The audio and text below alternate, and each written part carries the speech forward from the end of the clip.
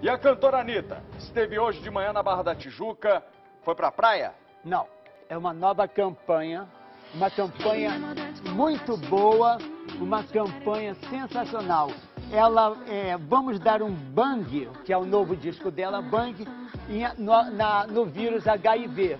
Quer dizer, no carnaval, as pessoas bebem, as pessoas ficam loucas ou não, as pessoas se soltam mais. Realmente, carnaval é uma, uma, uma festa, é uma, uma festividade incontrolável, porque as pessoas ficam bebidas, vão sambar, é mais fácil beijar na boca e a vias de fato. Então, ela ela ela está fazendo essa campanha da HIV que vai começar hoje em todas em toda em todas as redes sociais. E é legal que atinge todos os públicos, né? Ela aproveitou o, o clipe dela justamente para idealizar essa campanha. Olha ali, ó. Ela com a camisinha na mão, não é? Aliás, ela deixou um recado aqui pra gente e para os nossos telespectadores. Deixa eu ver.